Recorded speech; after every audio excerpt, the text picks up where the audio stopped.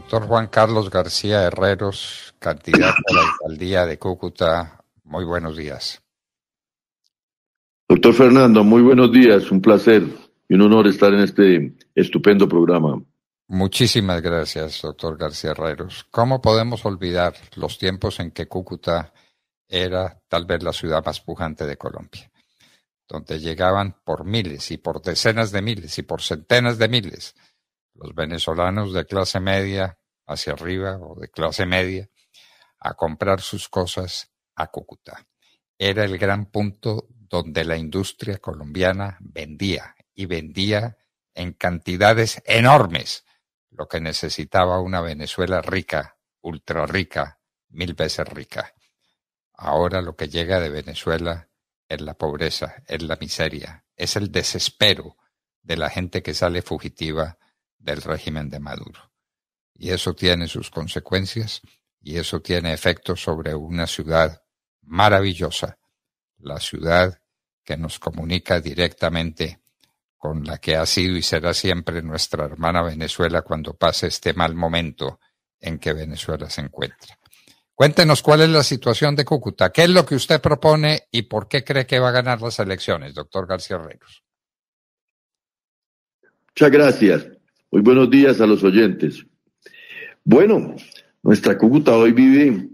situaciones supremamente difíciles precisamente por toda esta información que acabas de dar. Hoy tenemos una complejidad de seguridad eh, de grandes proporciones, productos de grupos ilegales al norte del departamento, específicamente el Catatumbo, donde la droga pues avasalla esa zona tan importante y tan rica de nuestro departamento y de Colombia, donde 40 mil hectáreas de coca, entre otras cosas, conviven con otras 40 mil hectáreas de palma por fortuna. Pero con unas grandes dificultades de extorsión, de gobierno de la zona, que ve sin duda alguna cómo progresan estos grupos delincuenciales em, ahora asociados con el gobierno y fuerzas militares de, la República de Venezuela, produciendo una complejidad enorme que irradia Cúcuta sin duda alguna. Esta miseria venezolana agrava las condiciones de seguridad de la ciudad producto no solo de la delincuencia ahora multilateral, porque es Venezuela, Colombia, ecuatorianos, peruanos, mexicanos que participan del negocio de la droga también, sino que indigentes despachados por el régimen de, Maduro hacia Cúcuta. Hoy hay cifras de cuatro mil en la ciudad que complican tremendamente ese hurto menor y esas dificultades que producen indigentes con problemas de droga que no tienen respuesta del Estado municipal ni regional y mucho menos nacional en estos momentos, donde se necesitan sin duda alguna políticas públicas, porque al final termina siendo un problema de salud pública, valga la redundancia. Eso agrava más la situación de la ciudad y no tenemos presupuesto para semejante tragedia. Sin embargo, a su vez hay condiciones pues sorprendentemente favorables en una industria eh, de la moda que crece a un ritmo exponencial por fortuna, generando empleo, del orden de 70 mil empleos en, en este sector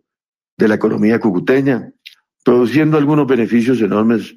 pero siguiendo con la, con la dificultad que produce hoy 200 mil venezolanos en nuestra ciudad, representando básicamente el 20% de crecimiento de la población de Cúcuta. Entonces, mi doctor Fernando, estamos en una encrucijada, nosotros proponemos volver a los consejos comunales, como hacía el presidente Uribe, para interactuar entre la y, articular entre la policía y la comunidad con la moderación de la alcaldía, eh, el establecer qué delitos y en qué condiciones la policía puede actuar y no actúa en determinadas circunstancias muy graves, como por ejemplo jíbaros alrededor de los colegios públicos y privados, ollas que, que no se cierran y cantidad de delitos menores y asesinatos, por supuesto, que se producen en la ciudad, en, esas fuerzas eh, oscuras de la delincuencia por los corredores y, la, y el negocio de la droga. Total que, de todas maneras, es muy compleja la situación. Proponemos también que haya recompensas para pequeños y medianos delincuentes. Proponemos la construcción de una cárcel municipal para sindicados. Hoy hay más de 700 detenidos en estaciones de policía y CAIS que se vuelan en un porcentaje, que, que los jueces sueltan porque están apiñados realmente en estos sitios y se necesita con urgencia tenerlos con, una, con unas condiciones eh, razonables para que no sigan delinquiendo de esta manera tan salvaje y tan permanente que lo hacen. De otro lado, hay que hacer unas inversiones en tecnología teniendo en cuenta que, la, que el gobierno nacional no nos va a proveer de nuevos hombres policías en la ciudad, eh, apoyándose en estas, en estas herramientas tecnológicas que sin duda alguna pueden eh, proporcionar mejores condiciones eh, a, la, ciudadanía. En seguridad, apoyándose con inteligencia, yo creo que hay que buscar al ejército también para que produzca información a la policía. Esto se ha convertido en una tragedia realmente para el desarrollo normal de la, de la vida cotidiana de los cucuteños. Proponemos que en el empleo haya unos beneficios eh, tributarios desde el municipio. Esperamos que el gobierno nacional nos ayude en eso. Veo muy difícil esta situación, pero nosotros proponemos, por ejemplo, que haya descuento en industria y comercio para eh, las empresas que crezcan su fuerza laboral en por lo menos el 10%, que haya descuento en predial inclusive y en industria y comercio para empresas que vengan a instalarse, en nuevas empresas que vengan a instalarse en la ciudad. Proponemos también una inversión